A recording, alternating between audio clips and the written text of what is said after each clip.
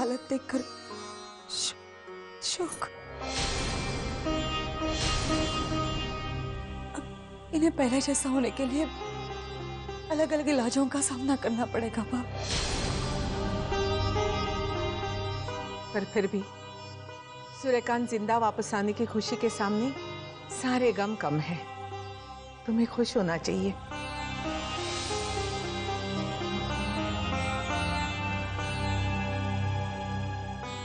हाँ सावित्री भाभी। मती तो हम सब लोगों की मारी गई थी। माँ बिल्कुल सही कह रही है। माँ कभी गलत हो ही नहीं सकती। सबने मान लिया था। पर एक सावित्री ही थी जो ये ठान कर बैठी थी कि सूर्यकांत ज़िंदा है।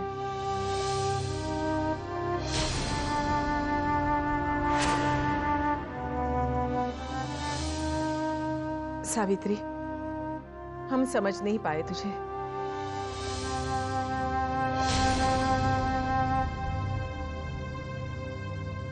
हमारी ही सोच में कमी थी। जो एक पत्नी के अड़क विश्वास को हम तोड़ने चले थे। हमारी भूल हो गई। माफ़ कर दो। नहीं बा नहीं। हर बात में सही और गलत ढूंढना ज़रूरी तो नहीं ना।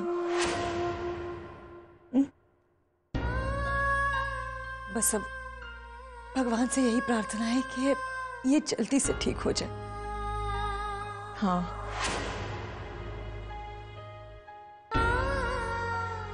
पर एक और चीज़ जो मुझे बहुत पहले कर लेनी चाहिए थी।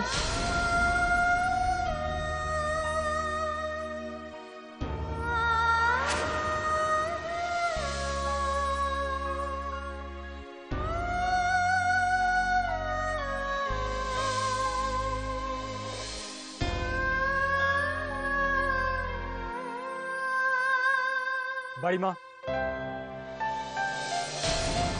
ये सिंपली ग्रेट हाँ सावित्री भाभी। भाई तो समझो बस आप ही के नसीब की ज़िंदगी जी रहे हैं। सावित्री भाभी अर्धांगिनी हो तो आप जैसी। आज गरुड़िया परिवार के लिए सबसे बड़ा खुशी का दिन है। आज परिवार को सूर्यकांत मिल गया। और वो भी एकादशी के दिन। आज हम मुरारी से प्रार्थना करेंगे। कि सूर्यकांत जल्दी ठीक हो जाए।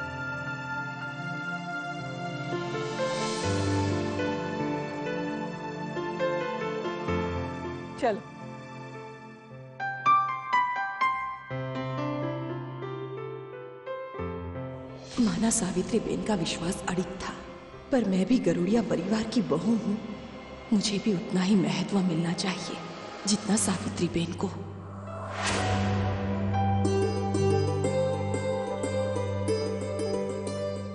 आज पूजा की विधि सावित्री के हाथ से होगी। क्योंकि मुरारी उसकी सुनेगा।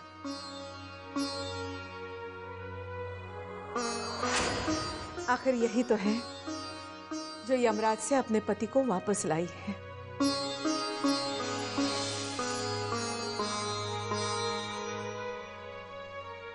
यही मुरारी को प्रसन्न कर सकती है।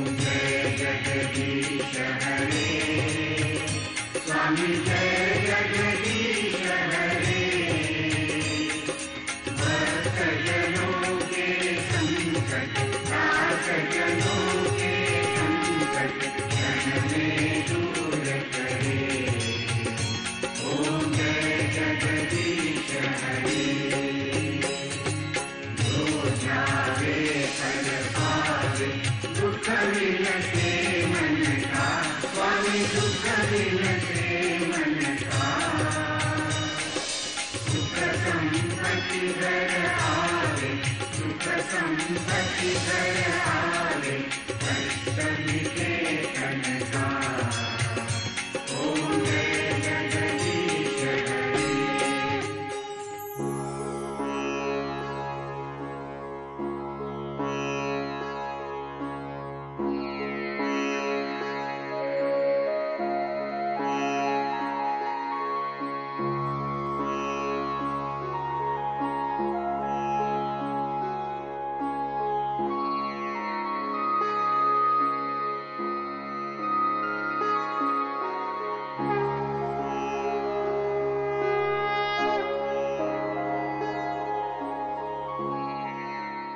गायत्री बेन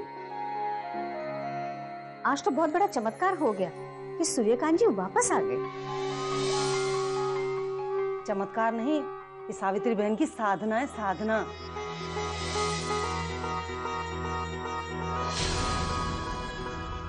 और हाँ पुलिस ने उन्हें ढूंढकर बहुत अच्छा काम किया। नहीं, मासी। पुलिस ने नहीं।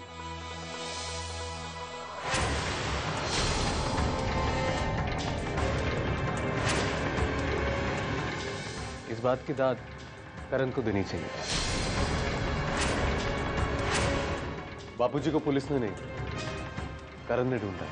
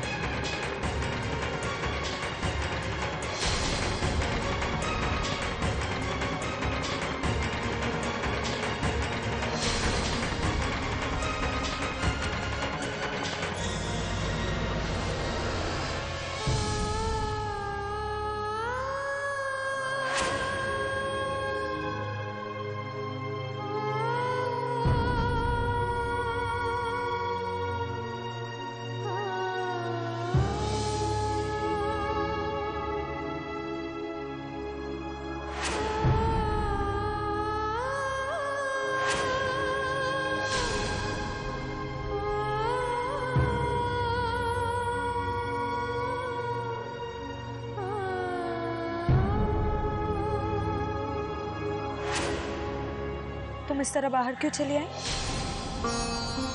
लक्ष्मी? कुछ नहीं दीदी।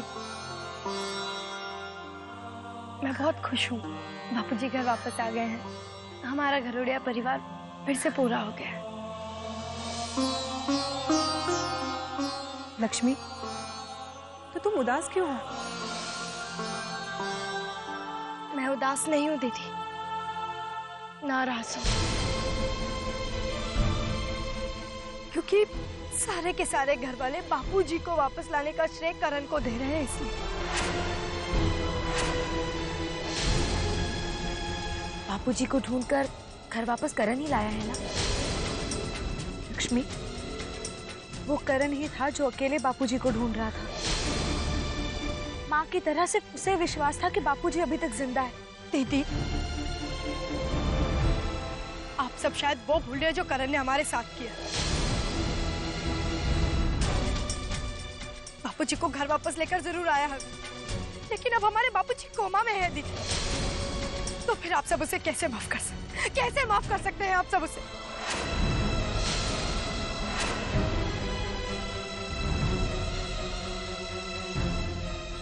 लक्ष्मी, करण को जो सजा मिलनी थी वो उसे मिल चुकी है। उसने अपना प्रायश्चित कर लिया है तो फिर हम सब बस दीदी सब करण को माफ़ करना चाहते हैं ना? बेशक माफ़ कीजिए। लेकिन मैं उसे ज़िंदगी भर माफ़ नहीं करूँगी। कभी माफ़ नहीं करूँगी मैं।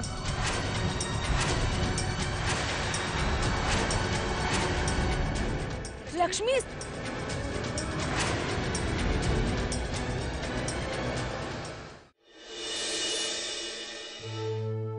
हम तो हमेशा प्यार और जज्बात में रईस बनना चाहते थे।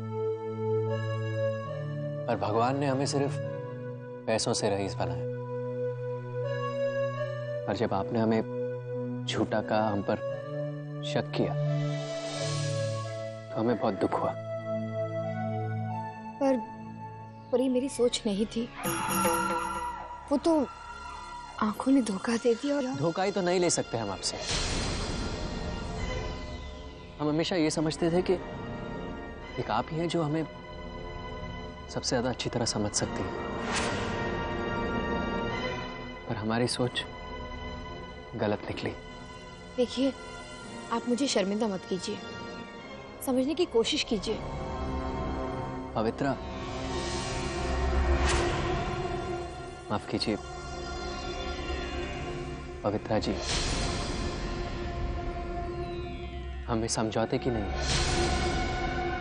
प्यार की ज़रूरत है।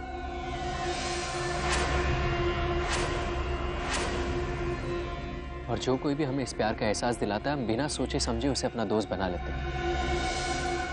फिर चाहे वो राजा हो या भिकारी और आपने हमें उसी प्यार का एहसास दिलाया आगे भी दिलाती रहूँगी।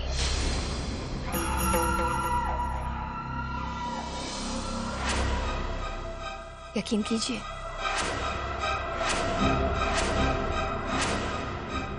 पवित्रा।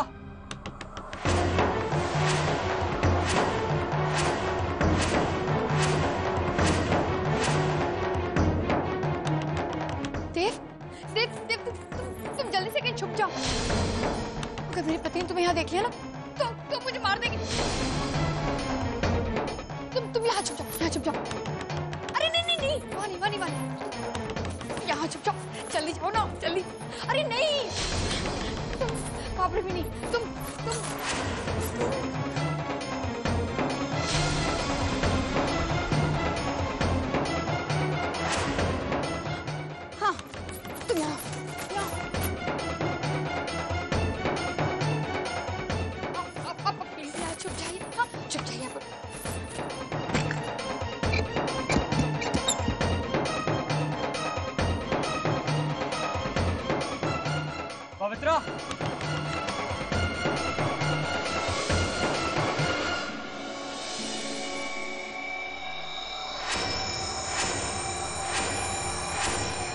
पवित्रा पवित्रा आज मैं बहुत खुश हूँ।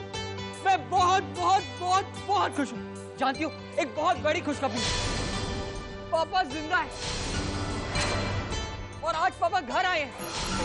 हे भगवान ये कैसी मनहूस खबर है। अब क्या होगा?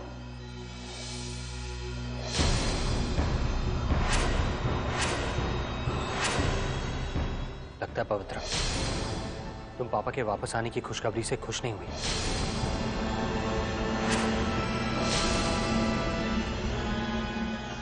नहीं, युवराज, ऐसी कोई बात नहीं है। बल्कि इस खबर से मैं बहुत खुश हूँ। लेकिन लेकिन मुझे डर सिर्फ़ इस बात का है कि शायद बापूजी तुम्हें माफ़ नहीं करेंगे।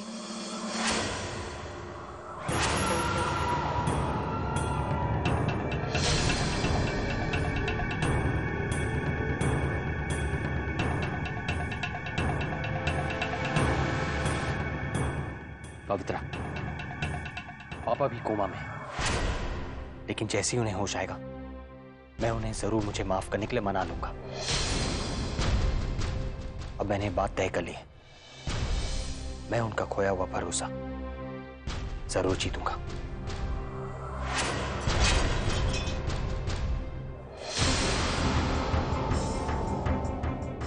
ये स्टोर रूम से कैसी आवाज़ें आ रही हैं?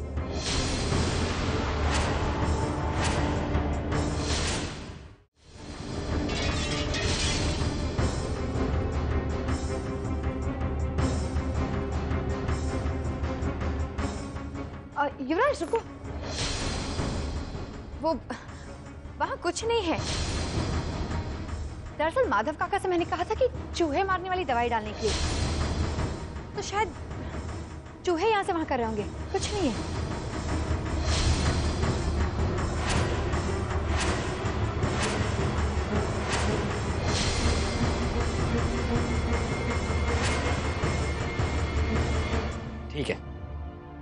ये बताओ कि पूजा कैसे रही? बहुत अच्छी। और जानती हो पापा के आने से मम्मा भी बहुत खुश थी। तुम चलो थक गए होगी।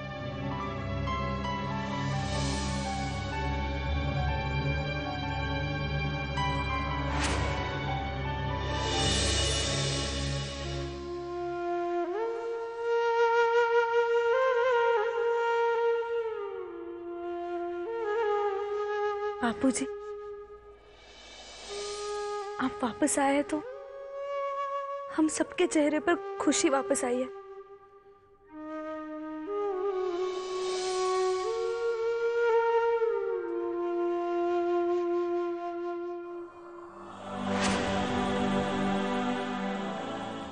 बापू जी बस आपके ठीक होने का इंतज़ार है। आप जल्दी से ठीक हो जाइए। फिर हम सब मिलकर ना ढेर सारी खुशियाँ मनाएँगे। है ना? बापूजी बापूजी कुछ तो बोलिए।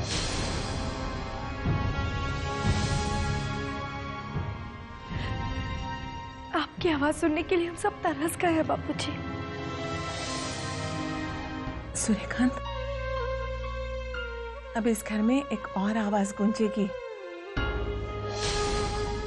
सरस्वती की बेटी की।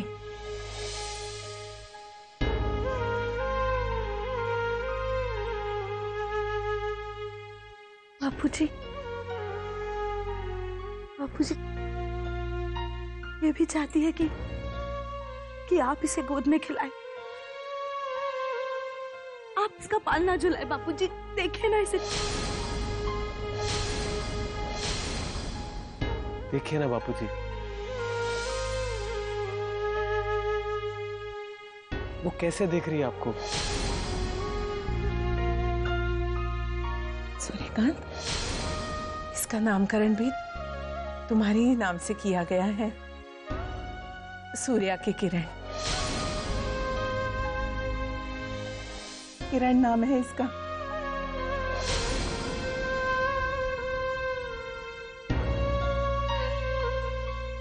आखिर वो तुम्हारा ही हिस्सा है ना? ये हमारी ज़िंदगी में रोशनी लाएगी। तुम्हारी बेटियों की तरह। बहुत प्यार करते हो ना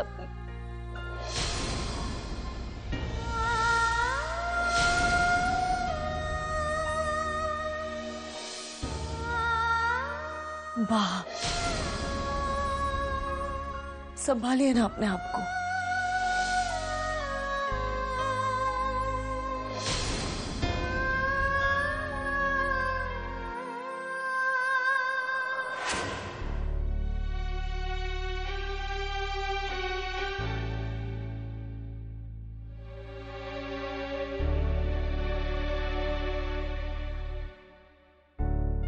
सावित्री।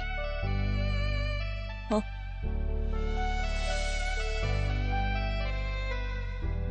भले ही तुम मुझसे कुछ ना कहो। मैं तुम्हारी तकलीफ़ समझ सकती हूँ। अगर सूर्यकांत को मुरारी ने ज़िंदा वापस भेजा है तो ठीक भी वही करेगा। और तुम जो हो उसके साथ तुम्हारा साथ ही सूर्यकांत को कोमा से बाहर ले आएगा।